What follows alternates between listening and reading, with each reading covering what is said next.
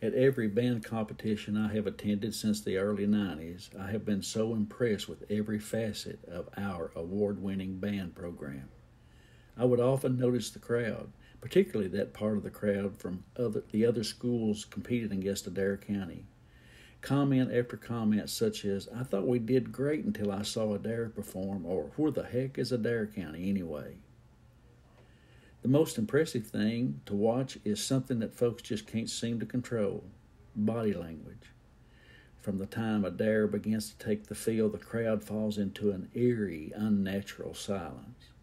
All conversation stops, and the involuntary awe and silence pay the highest respect to a program of now mythical proportions. These and many other observations inspired me to write this tribute poem simply called Adair. A hush falls over the crowd. The murmurs dwindle away.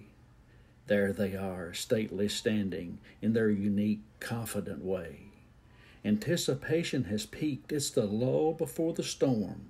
Somehow one gets the feeling a hurricane is being born. Then it begins in a flurry of marching feet and clenched fists. The crowd draws a hurried breath, each one glued to where he sits. Yes, yes, Adair has arrived. They are now taking the field. Each soldier, practiced and proud, stands on legs of twisted steel. Thunder rolls and rolls from drums as they move from place to place. Saxophones and clarinets bring melodies before my face.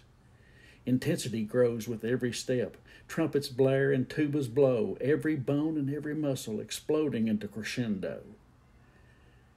Then silence leaps from the field as gliding feet continue to move.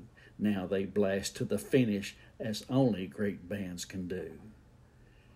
The audience begins to breathe.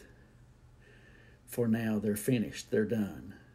Everyone knows deep inside this band is still number one. The judges at each other look, they stare with admiration. Adair might be, could be, the best band in the nation.